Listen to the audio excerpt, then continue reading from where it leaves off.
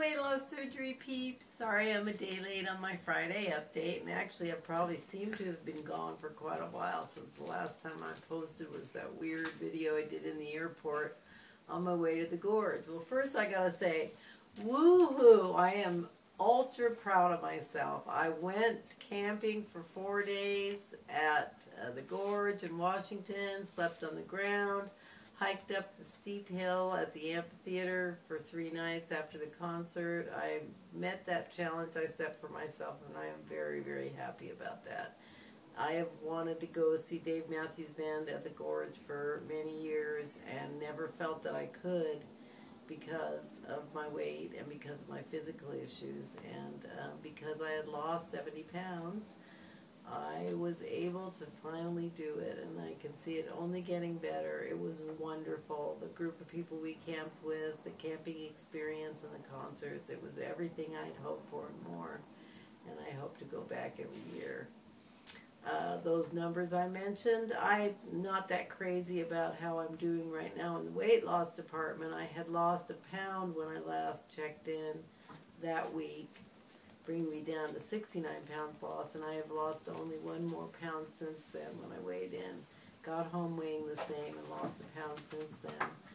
So I am now down to 210 pounds, 70 pounds lost since I started my pre-op diet, and 52 pounds lost since uh, my surgery date. Now my surgery date was four months ago yesterday, so this is my four-month surgery anniversary. Woohoo! I have to say that the vertical sleeve gastrectomy was a wonderful, wonderful thing that I have done. I don't regret it for a minute. I am um, happy in my body once again and feel energy, feel aliveness. I've said all this before and I just have to say it again. I'm, I'm very, very pleased that I did this surgery and wish only wish I'd done it sooner um, anyone out there that's considering it, yeah, it's it's not easy. There, the first few weeks are difficult, and it's you know you've got to work the program. I do my low carbs, I drink my water, I do my protein, and I'm exercising like crazy. And but it pays off in weight loss as you've always wished it would be. And to have lost 70 pounds in such a short time is just such a gift. Just such a gift. Now, if I seem like I'm talking about energetic, exciting things, but my countenance and my voice don't don't agree with that, I will share with you a, a challenge that I am experiencing right now, which um, I'd love some hugs and support for. I, as I've mentioned in the past, I have some severe medical problems with nerve damage in my back damage in both my knees, injuries I've suffered, both from just um, having a piece of disc lodged to my sciatic nerve that had to be uh, removed during surgery, and from three serious falls I've had, as well as a few minor falls since then. I, because and, and seriously, that's why I had the surgery. I, when my doctor told me he saw me being in a wheelchair next, you know, I took action and I did whatever it took to change that prognosis. Now, one of the things that has gone along with this pain situation is that I have been on um, varying degrees of serious pain medications for quite a few years. And two years ago, I was put on a fentanyl patch. Now, fentanyl is heavy duty stuff, I'm telling you. Um, it's the stuff they give you when you have surgery. And it's, you know, it works very well, or so they say. Well, I've been on a very low dose patch. Here it is right here.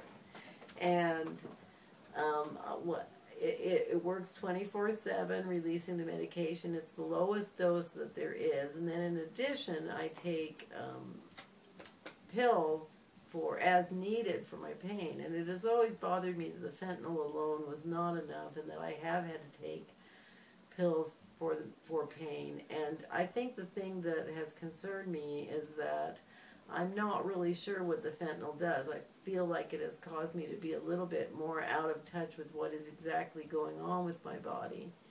And so I made the decision, which kind of surprised my doctor, to go off of the fentanyl patch. And I have started that process this week, cutting the patches in half and um, I'm in withdrawal, and I'll be honest about that. This, I guess, only by stopping the patch am I really finding out what it was doing for me. I didn't think of it as being that effective since I have to take other medication every day for breakthrough pain. I guess it really has been doing something because um, I'm going through everything you go through with withdrawal. I'm kind of twitchy, I'm achy, I'm anxious, um, just kind of agitated, and it's no fun. And my challenge right now is it's obviously a time when I would reach for carbs, ice cream, popcorn, all those soothing foods just to have something to do actually more than anything else because I feel agitated and I feel like I need to be doing something and that something feels like it could be food really easily. Obviously awakening all the things in me that have to do with food from my past.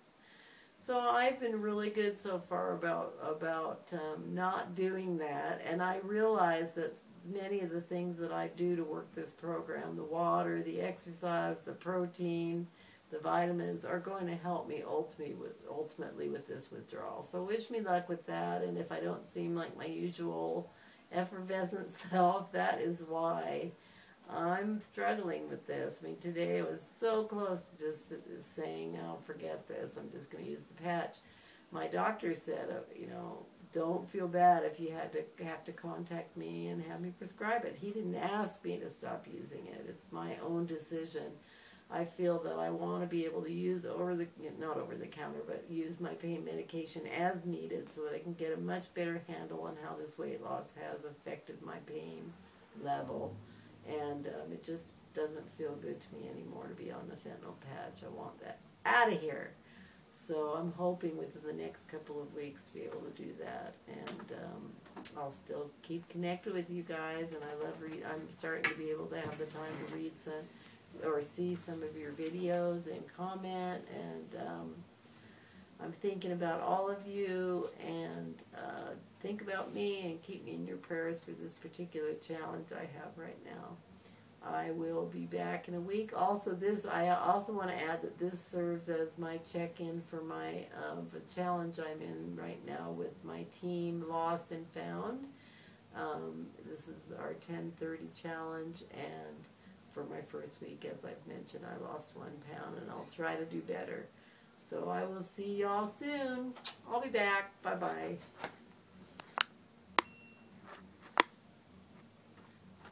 Once those things are closed,